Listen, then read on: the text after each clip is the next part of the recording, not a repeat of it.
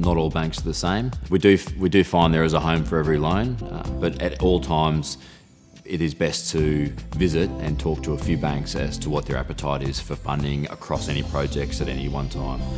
We're seeing, particularly uh, in, the, in, the, in the last few months, a lot of more inbound inquiry for our business, just for the fact that you know people that have banked with such and such a bank for the last 10, 20, 30 years, those banks are changing their terms and conditions almost weekly.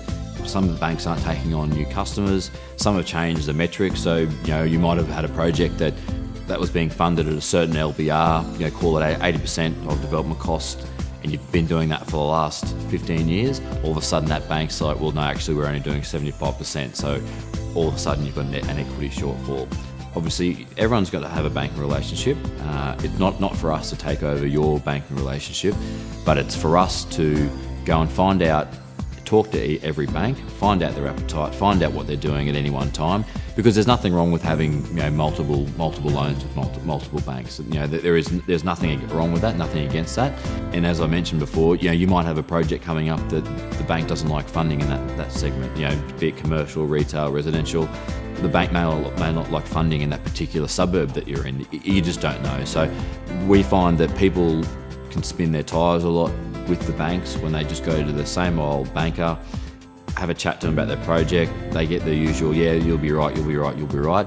And then when it comes to getting an approval, all of a sudden it's gone missing. So what we like to do, we, we like to put ourselves in between the lender and, and the borrower.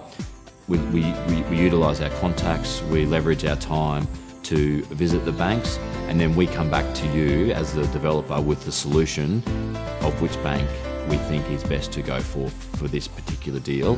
And you know, you might have 10 deals in a row, and we might come back each, for every deal and say it's a different bank this time.